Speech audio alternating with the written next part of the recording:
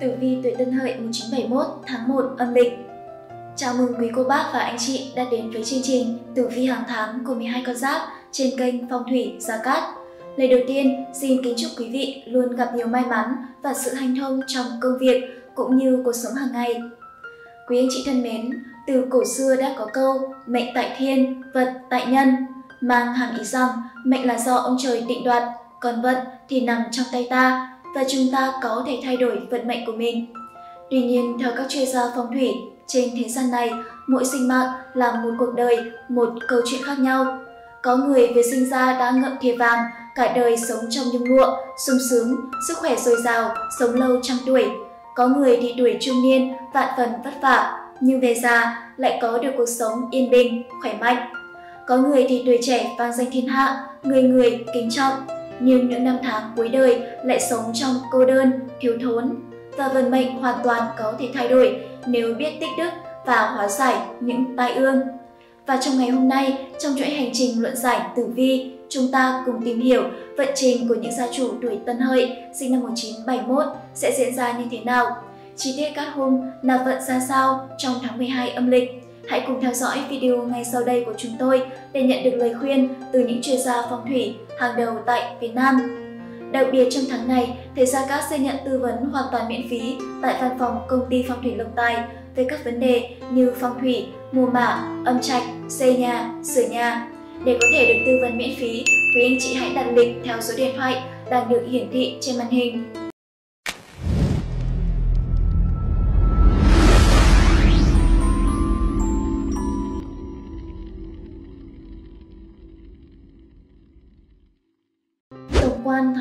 Lịch năm 2021. Tháng 1 âm lịch được bắt đầu từ ngày 1 tháng 1 và kết thúc vào ngày 29 tháng 1, từ ngày 12 tháng 2 đến ngày 12 tháng 3 dương lịch. Tháng canh dần có nạp âm là tùng bách mộc, tháng dần lục hợp hợi, tam hợp ngọ và tất thành hỏa cục. Xung thân, hình tỵ, hại tỵ, phá hợi, tuyệt dậu. Đối với những người tuổi tân hợi trong tháng 1 âm lịch sẽ cần tránh các ngày Thứ nhất là ngày âm lịch 15 tháng 1, tức ngày 26 tháng 2 dương lịch, có nạp giáp là Ất Tỵ. Thứ hai là ngày âm lịch 27 tháng 1, tức ngày mùng 2 tháng 2 dương lịch, có nạp giáp là Đinh Tỵ. Đây là hai ngày không được cắt lành khi tính theo tuổi của các mệnh chủ tuổi Tân Hợi. Trong những ngày này, mệnh chủ cần phải hết sức chú ý. Tốt nhất, không nên thực hiện những công việc quan trọng. Lời khuyên từ các chuyên gia phong thủy cho bản mệnh là nên chú ý tới sức khỏe nhiều hơn, tiêu tiền vào những việc cần thiết, không nên vung tay quá chán. Đồng thời, để công việc thành công, may mắn, kích công danh, tài lộc, tình duyên, các gia chủ nên sử dụng vật phẩm phong thủy, minh quang, pháp bảo. Nếu mang vật phẩm bên mình sẽ hỗ trợ tốt cho sức khỏe của gia chủ, đồng thời sẽ hộ thân, tăng cường vận khí, giúp gia chủ đón tài lộc, nhận được nhiều may mắn cả trên con đường tình duyên và sự nghiệp Ngoài ra còn có các ngày tốt đối với người tuổi Tân Hợi trong tháng 1 âm lịch năm Tân Sửu. Thứ nhất là ngày âm lịch 12 tháng 1 từ ngày 23 tháng 2 dương lịch, có nạp giáp là nhâm dần, có nạp âm là kim bạc kim. Thứ hai là ngày âm lịch 24 tháng 1 từ ngày 7 tháng 3 dương lịch, có nạp giáp là sắp dần, có nạp âm là đại khế thủy. Đây là hai ngày cắt lành trong tháng để các gia chủ tiến hành các công việc liên quan đến xuất hành hay tiến hành những công việc quan trọng sẽ dễ có kết quả cao hoặc những vấn đề nhỏ trong gia đình bạn tiến hành đều hết sức thuận lợi. Ngoài ra, việc chọn lựa ngày tốt cần phù hợp với tuổi của gia chủ trong những công việc như tiến hành động thổ, ngày giờ mua xe mới, ngày giờ cưới hỏi. Để chọn được ngày giờ đẹp phú long tương chủ, ngày giờ tài lộc của gia chủ, anh chị và các bạn hãy để lại thông tin dưới phần bình luận theo mẫu, họ tên, ngày tháng năm sinh, số điện thoại hoặc anh chị có thể liên hệ trực tiếp tới số hotline hiển thị trên màn hình để được tư vấn hoàn toàn miễn phí. Tổng quan tử vi tuổi Tân Hợi 1971 trong tháng 1 âm lịch nhưng gia chủ tuổi Tân Hợi vốn mang bản tính hiền lành lại thành phần tin người khác quá, dẫn đến tuổi trẻ nhiều fan còn lần đận. Nhưng bù lại, họ được trời phú cho trí tuệ, sự thông minh và bản chất của một người nghệ sĩ sống thư thái, an nhàn. Dự báo trong tháng 1 âm lịch, công việc của tuổi Tân Hợi không phải lúc nào cũng được như mong đợi, nhất là những ai mới nhận nhiệm vụ sẽ dễ xảy ra sai sót thường xuyên. Canh dương kim gặp hợi âm thủy nên gọi là chính ấn, nghĩa là bản thân được sinh dưỡng, nuôi dưỡng. Đây là tháng khá tốt cho các gia chủ tân hợi. Nếu có cơ hội tốt, cần phải nắm bắt sẽ có được tài lộc, sự phát triển tốt đang chờ đợi ở phía trước. Trong tháng này, các gia chủ tân hợi sẽ cần chú ý ngày âm lịch 27 tháng 1 từ ngày mùng 2 tháng 2 dương lịch có nạp giáp là đinh tỵ. Đây là ngày không được cắt lành khi tính theo tuổi của các mệnh chủ tuổi tân hợi sinh năm 1971.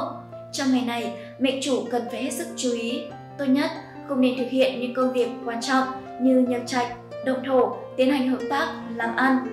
Nếu muốn tiến hành, cần tham khảo kỹ càng ý kiến từ các chuyên gia phong thủy để may mắn và thuận lợi hơn, những gia chủ nên mang bên mình pháp khí phong thủy, minh quang, pháp bảo để kỵ tà, hóa sát, chiêu phúc, nạp tài, tịnh hóa nghiệp lực, gia trì công đức, thâu thu tài lộc, hỗ trợ hành mệnh cho gia chủ.